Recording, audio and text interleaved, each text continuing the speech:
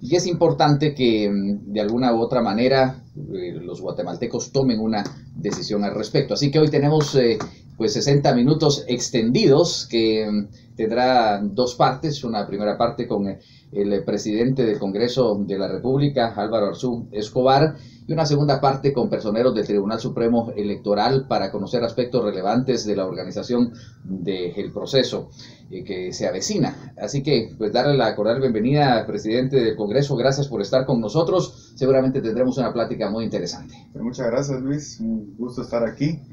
Y hacía ratos que habíamos pues ahí tratado de, venir aquí a, la radio Sonora, que es la radio más importante del país aquí para poder hablar y que los guatemaltecos puedan conocer las propuestas que llevamos para el Congreso y del Partido Unionista.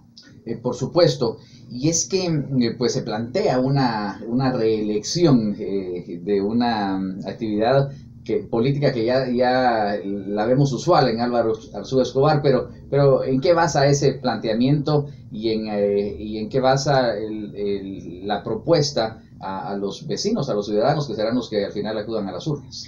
Bueno, una de las cosas que, que, hemos ido comprendiendo, sobre todo en los últimos años que, que he tenido pues, el honor de estar en el Congreso, es que realmente el Congreso de la República toma decisiones importantísimas en todo el país. Elige eh, personas para dirigir cargos muy importantes, desde el fiscal general, contralor, pero el fiscal general o contralor. Eh, elegimos una cantidad de jueces que ahorita venimos a, Vamos a elegir los, a los nuevos magistrados de la Corte Suprema de Justicia este año y el Congreso realmente se ha vuelto como una especie de aglutinador de poder político. Y desde el Congreso se pueden resolver muchas cosas, se pueden proponer muchos cambios y en ese sentido creemos que es fundamental que todos los partidos estemos representados ahí. Obviamente el Partido Unionista siempre ha sido un partido que de alguna manera ha luchado mucho por ganar la municipalidad de Guatemala y lo hemos hecho con mucho éxito y estamos convencidos que lo volveremos a ganar con muchísimo éxito en esta elección. Más sin embargo, queremos tener también un partido político que se vea representado en el Congreso de la República. Obviamente ahorita tenemos la presidencia del Congreso, pero no tenemos una bancada que muchas veces nos permita apoyar muchas iniciativas que como partido queremos impulsar. Y la idea de esta campaña electoral para nosotros es poder llevar al Congreso una bancada grande, una bancada de gente preparada, una bancada de gente honesta, de gente trabajadora que verdaderamente nos ayude a impulsar proyectos de ley que generen cambios verdaderamente trascendentales para el país. ¿Y qué estrategia están teniendo como partido entonces como para lograr tener esa eh, representación más numerosa y esperamos que de calidad también, ¿no? No, claro, claro, más que numerosa es de calidad. Eh, muchas veces, claro que los números importan adentro del Congreso, pero muchas veces, eh, aunque se tengan pocos números, pero si, se tienen a las personas adecuadas, capacitadas, con liderazgo, se pueden lograr muchísimas cosas. Y nosotros desde hace ya varios años venimos pensando en la idea de, de llevar una bancada al Congreso y obviamente en esta elección, en esta campaña, llevamos ya dos meses y medio prácticamente desde, que comenzó el proceso que no hemos parado de trabajar. Salimos entre semana prácticamente todos los días a caminar las calles de la ciudad de Guatemala. Ya comenzamos a visitar también a los mercados, que es una fuente importantísima de empleo y de trabajo y de ventas y compras que se dan en la ciudad de Guatemala. El 70% de la población compra en los mercados, es importantísimo. Y hemos hecho una campaña verdaderamente de a pie. Los fines de semana salimos al interior del país, ya prácticamente visitamos casi todos los departamentos del país y realmente ha sido una campaña de tierra. Como ustedes mejor que nosotros saben, no, no ha sido una campaña donde hayan muchos medios de comunicación, estamos limitados en las redes sociales, en los canales, en la radio, en las vallas entonces realmente ha sido una campaña de a pie, pero que también nos ha permitido tener una interacción y un contacto con la población que quizá antes no se necesitaba tener y que ahora eso, eh, pues creemos que también nos compromete más con la gente, porque no es lo mismo pautar un spot de televisión o de radio para mandar el mensaje que darlo cara a cara y ver a la gente en los ojos y verdaderamente generar un compromiso de que lo que estamos diciendo y ofreciendo efectivamente se va a cumplir.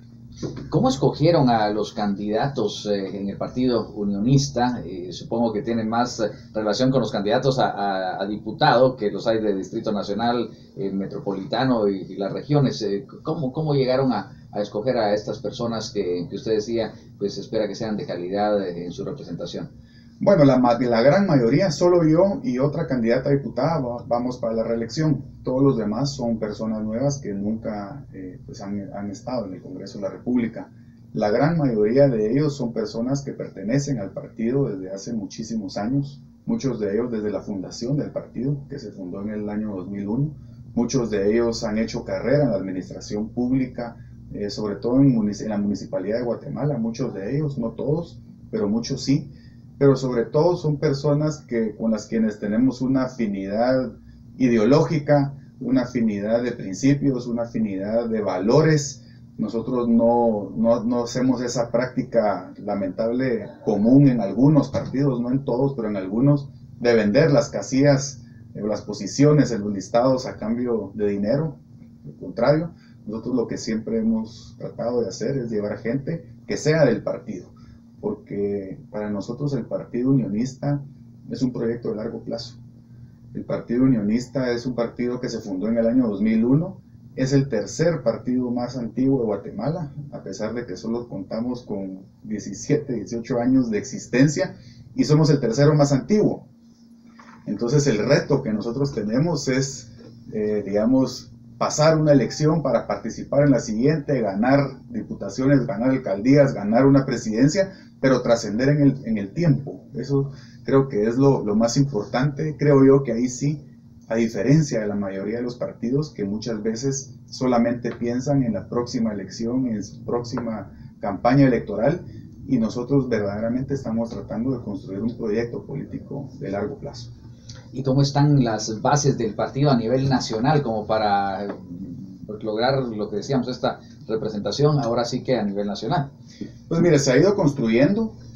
Eh, como dije anteriormente, el Partido Unionista muchas veces en las elecciones pasadas se enfocó mucho en, en la Municipalidad de Guatemala, en hacer campaña en la ciudad de Guatemala, pero desde hace algunos años que, pues que nosotros tomamos la decisión como partido de, bueno, pues si queremos trascender y que queremos ser un verdadero partido político a nivel nacional, tenemos que ganar la Municipalidad de Guatemala, pero también tenemos que lograr trabajar en una organización política a nivel nacional que nos permita llegar a ganar curules en el Congreso y a partir de ahí comenzar a construir una estructura nacional. El partido ha ido creciendo mucho. Nosotros estamos convencidos que en esta elección vamos a sacar más diputados que lo que hemos sacado en todas las campañas anteriores. Lo más que hemos sacado en, alguna campaña son siete diputados. Estamos convencidos que vamos a ganar más diputaciones en esta ocasión. Pero como le digo, más que el número, para nosotros lo importante es que las personas que vamos a llevar al Congreso van a ejercer un verdadero liderazgo dentro del Congreso. Porque muchas veces, eh, pues lo que sucede en el Congreso es que hay bancadas de 15, de 20, de 10, de 5, pero nunca se sabe si van a votar 5, 10 o 15 o 20 o van a votar tres o cuatro porque realmente es, es difícil poner de acuerdo a toda una bancada. En el caso nuestro, somos eh, personas, pues ahí sí que le diría profesionales, que nos dedicamos a la política, nos dedicamos a la administración pública y siempre nos hemos caracterizado por ser personas muy disciplinadas, que si decimos sí es sí, si decimos no es no. Entonces muchas veces más que el número de diputados, dentro del Congreso hay más valor en poder decir mis 10 diputados van a votar y los 10 votan. Eso tiene más valor muchas veces que tener 20, pero solo te garantizo 13. Digamos, es, es un tema que, que, yo he logrado ver en este último año y medio, que así funciona el Congreso. ¿Cuál es la filosofía? ¿En qué creen eh, eh, ustedes como unionistas y que sería, supongo, el campo de acción de los eh, futuros diputados de la bancada unionista en la próxima legislatura? Bueno, nosotros somos un partido que nos consideramos de derecha, somos un partido que nos consideramos conservadores. Obviamente dentro del mismo partido hay personas que piensan distintas en algunas cosas, pero en términos generales el partido está fundado sobre tres principios básicos, que los ponemos nosotros con mucha honra en nuestra publicidad, la ponemos en nuestras imágenes oficiales del partido, que es Dios, patria, libertad. Y, no, y cuando hablamos de, del término Dios, no, no lo hacemos desde el punto de vista de que somos pastores o somos curas o somos religiosos, y, es decir, no, no, no es por ahí, sino que sí creer, somos personas creyentes, somos personas cristianas, católicas o, evangélicos, hay, hay, de todo dentro del partido, Pero lo que sí creemos es que es importante que un político, que un funcionario público tenga ese respaldo, que tenga esa brújula que llamamos Dios, sea cual sea su religión, La fe, que ¿no? nos, exacto, la fe, que nos ayude a diferenciar entre lo- de lo que está bien de lo que está mal. Es decir, es una, es una forma de, hacer las cosas bien. Y patria, pues obviamente esa es la razón por la que hacemos política. La patria es nuestro país, es nuestro territorio, pero sobre todo es nuestra gente. Y por eso es que nosotros decimos amamos la patria, porque nosotros hacemos política para servir, para trabajar por la gente y no para servirnos y para trabajar por nosotros. Y eso ha quedado bastante claro en las, en las ocasiones que hemos tenido la, oportunidad de, de- de ejercer un cargo público, de administrar una municipalidad como la de Guatemala, que pues, nos han vuelto a elegir casi al mismo equipo por 30 años o más. ¿Por qué? Porque la gente ve que trabajamos, que se hace un esfuerzo, que cumplimos, que lo que ofrecemos lo hacemos y eso creo que genera un vínculo de confianza entre la gente y el partido. Y por último, la libertad. Obviamente no podemos, no podemos desarrollarnos como seres humanos si no somos personas libres, en el entendido que no es lo mismo libertad que libertinaje. La libertad tiene límites y los límites es el derecho ajeno de otra persona, pero creemos que esos tres principios verdaderamente abarcan todo lo importante que, que se debe de hacer cuando se hace política. En lo particular, Álvaro Arzú Escobar, ¿qué aprendizaje le dejan estos eh, eh, cuatro años, que hasta ahora solo pues, son tres y medio de- del ejercicio en el Congreso de la República? Pues mira, es interesante. Yo estudié ciencias políticas, tengo una licenciatura en ciencias políticas. Siempre dicen que es relaciones internacionales, pero no, es, es de ciencias políticas. Y también cursé una maestría en política económica. He leído cualquier cantidad de libros de política, de historia, que de economía, pero verdaderamente no hay mejor aprendizaje que la experiencia en carne viva.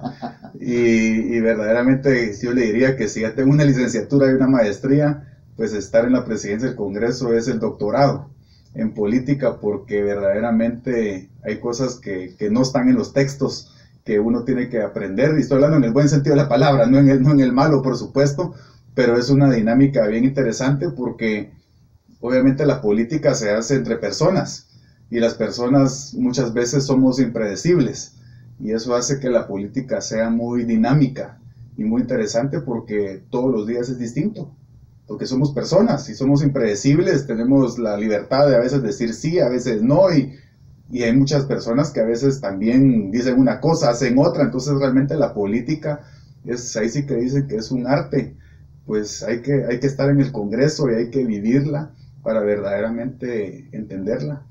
Es, es, apasionante la política, los que nos metemos a esto creo que ya nunca nos, ya nunca nos salimos porque ya no encontramos nada que nos, nada más que nos guste fuera de este ámbito. Y, es verdaderamente apasio- apasionante y estos últimos cuatro, tres años y medio y sobre todo el año y medio de la presidencia ha sido de verdad una, un aprendizaje muy, muy importante que hemos tenido. No sé si es el presidente más joven, pero creo que sí, del, del Congreso de la República Creo que, que sí. que ha habido, ¿verdad? Creo que sí. y, y- y, pues sí, ser diputado eh, es una experiencia que, que lo compartirán quienes han pasado por el Congreso de la República, pero ser eh, pues un diputado joven y el presidente más joven del Congreso habrá eh, dejado otro, otra experiencia también, son, ese es otro capítulo aparte, ¿no?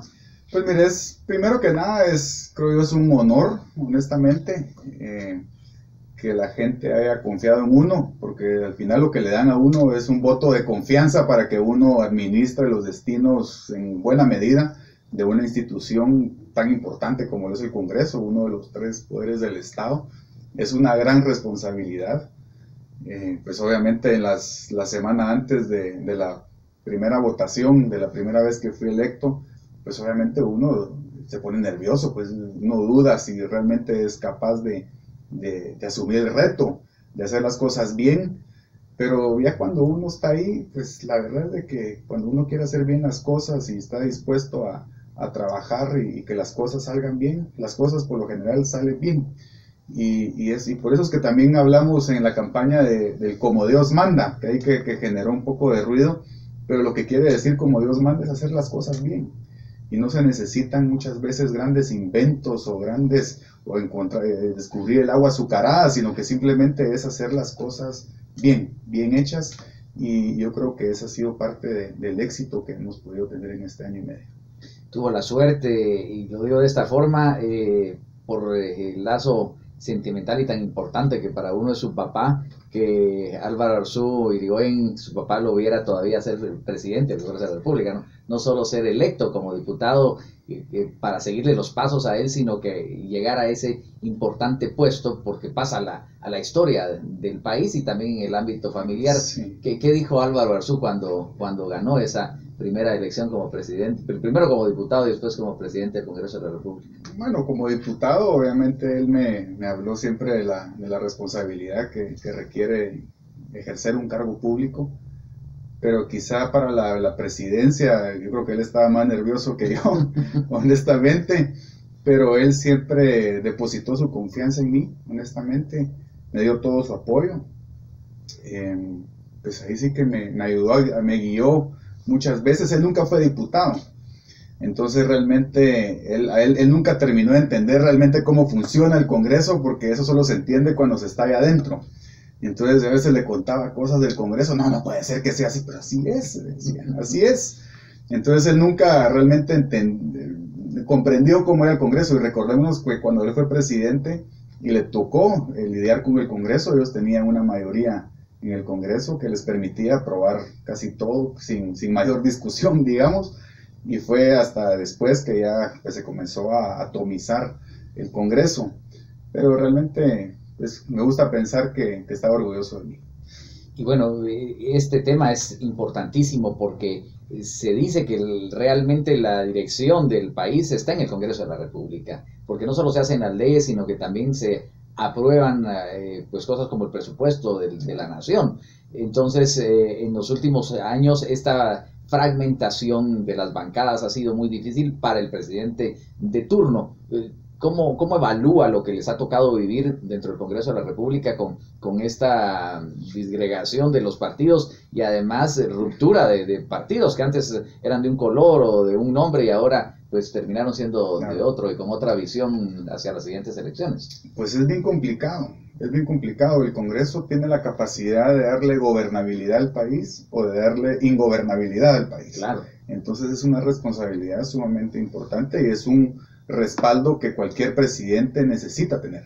Es decir, si, un presidente tiene el Congreso legislando en contra del Ejecutivo, verdaderamente lo ponen aprietos y es una irresponsabilidad hacerlo.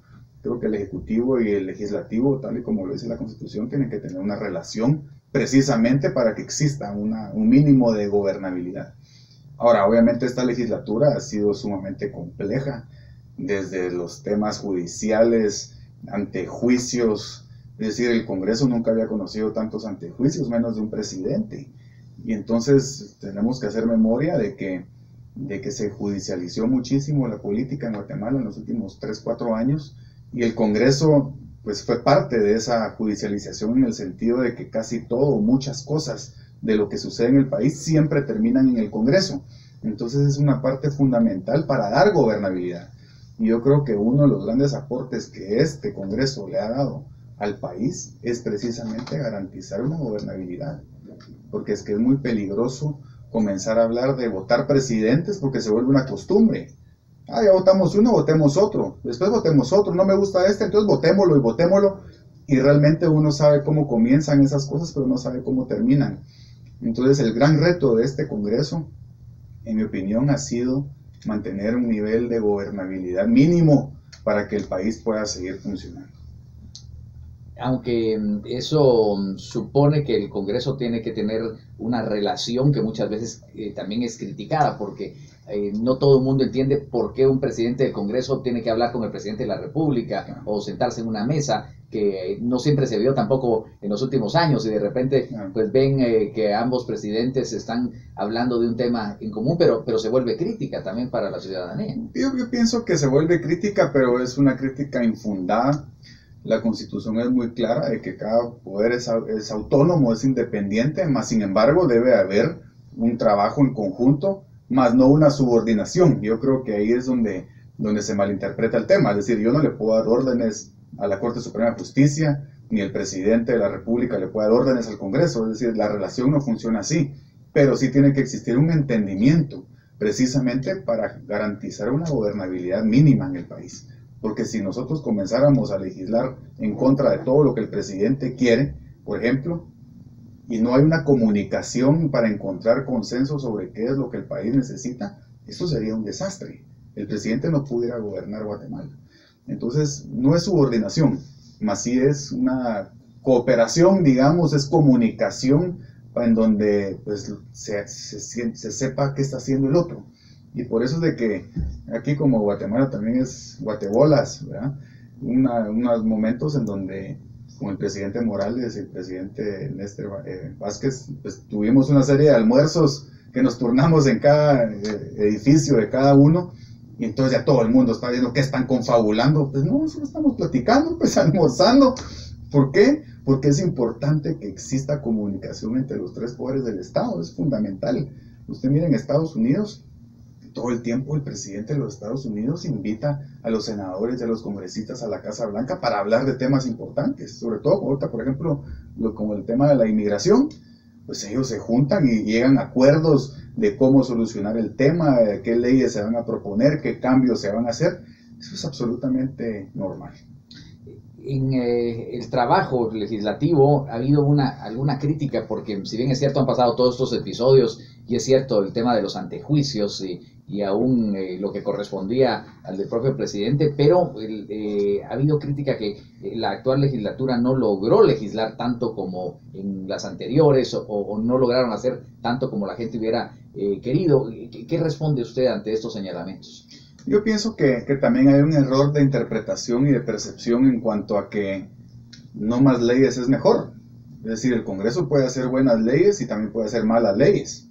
Y entonces si vamos a medir el trabajo del Congreso solo por la cantidad de leyes, por el número de leyes que aprueba, ese es un error garrafal.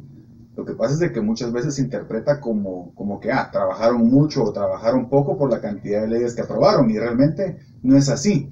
Yo le diría que más importante que el número de leyes es la calidad de las leyes que, que se aprueban. Y acordémonos también que, que las funciones de un diputado no son solamente legislar. Un diputado también fiscaliza, un diputado también intermedia entre la población y el Ejecutivo. En la mayoría de las ocasiones, sobre todo los diputados distritales, que necesitan llevarle obras eh, a sus departamentos, obviamente y muchas veces la, la, población llega a buscar a los diputados para que los ayuden con el Ejecutivo para que se hagan algunos proyectos. Usted va al Congreso de la República cualquier día y está lleno de gente. Y las oficinas de los diputados llenos de gente que llega a hablar con los diputados, a pedirles apoyo para algún proyecto en su departamento. Y esa es parte de la función que no necesariamente se ve y que la gente no, no lo ve, que no sale en los medios, pero es un trabajo que se hace. Entonces yo creo que el trabajo del Congreso no se puede medir por el número de leyes. Aunque también hay diputados que casi que ni han figurado, pero estarán trabajando en sus oficinas. pues mire, es que hay de todo, hay de todo. Y, yo creo que aquí tal vez el mensaje importante, porque yo no puedo tampoco hablar por todos los diputados ni meter las manos al fuego por todos los diputados, no, no me corresponde a mí. Pero yo creo que lo importante es que la ciudadanía comience a hacer una diferenciación entre los diputados y no llevarse de, corbata al Congreso, que también es algo que muchas veces sucede en los medios de comunicación, que dicen el Congreso quiere tal cosa, el Congreso hizo tal cosa, pero no es el Congreso, es un grupo de diputados o un diputado, o muchas veces, digamos, se, da un dictamen favorable en una comisión. El Congreso dictamina favorable, pues que ese no es el Congreso, ¿entiende? Entonces, creo que todos tenemos que hacer un trabajo de individualizar las responsabilidades de lo que hacen o no hacen los diputados. hay diputados que trabajan muchísimo. Efectivamente, habrán algunos que no trabajan tanto, pero hay unos que sí trabajan muchísimo. Y lo que no podemos hacer es meter a todos en el mismo canasto y juzgarlos a todos por igual me parece interpretar un consenso derivado de las entrevistas que me ha tocado que hacer en esta campaña y de los foros en los que hemos participado, sobre todo con los candidatos a la presidencia de la República, sobre la reforma a la ley electoral y de partidos políticos o una nueva ley electoral y de partidos políticos que usted mencionaba, cómo les cambió la forma de hacer la propaganda en, este tiempo de, de campaña. ¿Cree usted que eso sea lo que venga entonces al iniciar una próxima legislatura? Pues puede ser en la próxima legislatura o puede ser en esta. La ley sí contempla que, que media vez termina un proceso electoral, sí debe haber un, un proceso en donde se revisa lo que salió bien, lo que salió mal del evento electoral para hacer las reformas necesarias a la ley electoral. Yo soy de la visión que esa ley hay que derogarla. No sé si se puede derogar una ley electoral, pero en todo caso tenemos que reformarla de fondo. Hacer una nueva prácticamente. Prácticamente hacer una nueva, con, pero sobre todo con una nueva visión y con una nueva idea de cómo debe de ser un proceso electoral. Y hay muchísimos temas que, que se tienen que reformar en ese sentido, sobre todo el tema de, de los medios de comunicación. Es absurdo, es, es imposible eh, concebir la posibilidad de que en tres meses, sin televisión, sin radio, sin medios, sin vallas, sin poder hacer, darse a conocer previo a esos tres meses, una persona o un partido pueda transmitir adecuadamente sus ideas, sus propuestas, su ideología, que exista discusión política, que eso es lo que no tenemos ya en el país. Aquí todos estamos ahora preocupadísimos de que no, todo el tiempo tiene que ser igualitario para todos. A ustedes les sabe pasar eso, porque el TSE dice que todos igual. Y, y entonces, fíjense qué interesante, aplicamos una lógica socialista a la ley electoral. El socialismo lo que busca es igualar en condiciones a todos. Pero el socialismo es absolutamente incapaz de igualar a todos hacia la riqueza, sino que iguala a todos hacia la pobreza. Y se aplicó esa lógica con el tema del acceso a los medios de comunicación, que decían, no, está muy desproporcionado, hay unos que tienen más que otros, todos tienen que tener la misma cantidad de tiempo. Entonces, ¿qué pasó? Nadie tiene tiempo. Entonces, ¿quién perdió? Perdió el país, porque ahora los ciudadanos no tienen la forma de escuchar a sus candidatos de, escuchar discusiones, propuestas, debates políticos. ¿Por qué? Porque hay una obsesión con igualar a todos en sus condiciones, pero se igualó hacia abajo, no hacia arriba, no, no se aumentó la cantidad de comunicación, sino que se, casi se eliminó la comunicación. Entonces, ese sí es uno de los primeros temas que tenemos que reformar. Eh, entendemos que está en receso el Congreso de la República, recién pues tuvieron la sesión del aniversario de la Constitución eh, Política de la República, pero ¿qué está pasando en el Congreso en estos días? ¿Tendrán algo de actividad? Sí, hoy tuvimos eh, reunión de comisión permanente y decidimos que íbamos a convocar a una sesión, a dos sesiones plenarias el día miércoles. Este miércoles. Este miércoles. la razón principal es primero que tenemos que sesionar dos veces en este mes, en época de receso, entonces vamos a sacar esas dos sesiones el día miércoles, pero lo más importante es que tenemos que hacer la convocatoria, una nueva convocatoria para eh, convocar a las nuevas, a las comisiones de postulación para elegir a los magistrados de la Corte Suprema de Justicia y salas de apelación. Ahora, es importante explicar algo. Hay un, un amparo en la Corte de Constitucionalidad que, que dijo que, que, que, invalidó la convocatoria que habíamos hecho, creo que en febrero o marzo, no recuerdo tenemos que hacer uno nuevo, pero ese acuerdo que aprobaríamos este miércoles va a entrar en vigencia el 13 de junio. Es decir, los cuatro meses que la ley dice que se tienen que hacer las convocatorias. Lo estamos haciendo un poco antes, pero ese acuerdo va a entrar en vigencia hasta el 13 de junio para que ya puedan comenzar a constituirse las comisiones y comenzar ese proceso constitucional de elegir una nueva Corte Suprema de Justicia. Bueno, y seguramente pues eh, tienen que quedarles un poquito de tiempo para terminar la, la campaña también antes de Claro, es que ya también ya la última semana de campaña pues también se vuelve complicado lograr un quórum porque es lógico, pues todos los diputados que están buscando su reelección también tienen que hacer su trabajo político, que es uno de los errores también, por cierto, de la ley electoral nueva, de las reformas que se hicieron. Si usted recuerda, antes las elecciones eran en septiembre. Claro ahora que son en junio, la primera vuelta, quiere decir de que la campaña electoral nos cae cabal en época de sesiones. Antes, cuando era en septiembre, la campaña electoral caía cuando el Congreso estaba en receso. Entonces, por eso es de que se siente más ahora quizá que los diputados no están llegando al Congreso, pero es porque cambiaron las fechas. Antes la campaña electoral se hacía en época cuando el Congreso estaba en receso. Y es uno de los grandes cambios que hay que hacer, pero por otra razón más importante, no por el Congreso, ¿Se puede imaginar usted? Vamos a tener diputados electos el 16 de junio por seis meses. Es decir, van a haber seis meses que vamos a tener dos congresos. Después en segunda vuelta, que obviamente va a haber en agosto, el 11 de agosto, a partir de esa fecha vamos a tener dos presidentes. de agosto a enero. De verdad es algo que tenemos que considerar porque lo que hicimos al adelantar la de esa forma las elecciones pues, realmente es debilitar el trabajo del, del, gobierno y del Congreso el último año, porque prácticamente se vuelve político electoral todo el año, entonces se vuelve un año perdido. Ese cambio lo tenemos que hacer.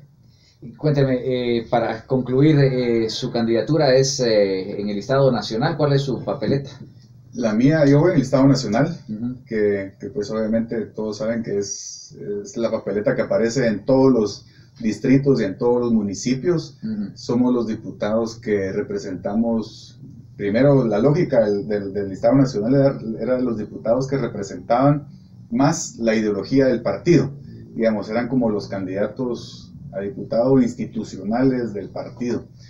Y, y, sobre todo, pues tomamos la decisión de ir por el Estado Nacional precisamente con esa idea de construir el partido. Porque más cómodo hubiera sido, obviamente, ir en el listado del Distrito Central, que no tuviera que estar saliendo al interior del país todas las, todas las semanas y tener más tiempo con mis hijos y mi esposa. Pero, como la intención es precisamente a largo plazo y es la, la idea de construir un partido a nivel nacional, pues nos lanzamos a la aventura de, de, ir por el Estado Nacional, visitar todo el país y comenzar a trabajar en las estructuras del partido. Y en cuanto a las eh, postulaciones, eh, sabemos que eventualmente podría haber pues un parentesco si es que, por ejemplo, su hermano Roberto Arzú pudiera llegar a la presidencia de la República. ¿Hay algún impedimento legal que algunos se lo han preguntado? Sí, sí, hay un impedimento constitucional. Si él pues, llegara a ganar la presidencia, yo no pudiera tomar posesión de... Yo, yo resultara también electo diputado, yo no pudiera tomar posesión de mi cargo. Eso es correcto. Pero será un tema que habrá que tratar posterior, ¿no? Pues es que ahí no hay mucho que tratar. Es decir, si, si los dos ganamos, yo no puedo tomar posesión. simplemente. Pero ya lo ha contemplado. Pues honestamente, no.